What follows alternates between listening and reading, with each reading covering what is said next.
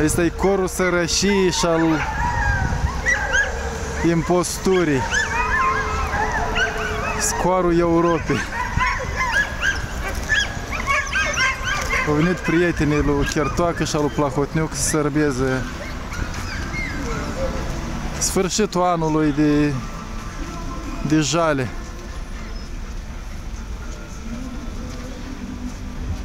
Anul în care au fost furate speranțele și șansele.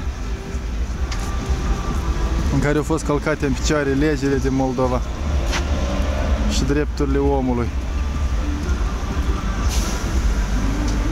Cam asta e atmosfera la Chișinău când ajung de alegeri și în ajung de an nou.